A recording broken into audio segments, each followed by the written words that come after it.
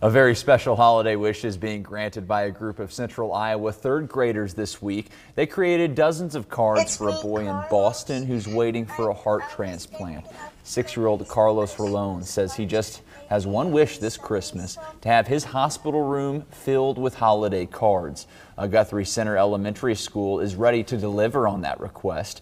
Shailene McDermott is a teacher at the school. She saw the story and showed it to her class. They are now planning to send those cards off sometime this week so Carlos can get them ahead of the holiday.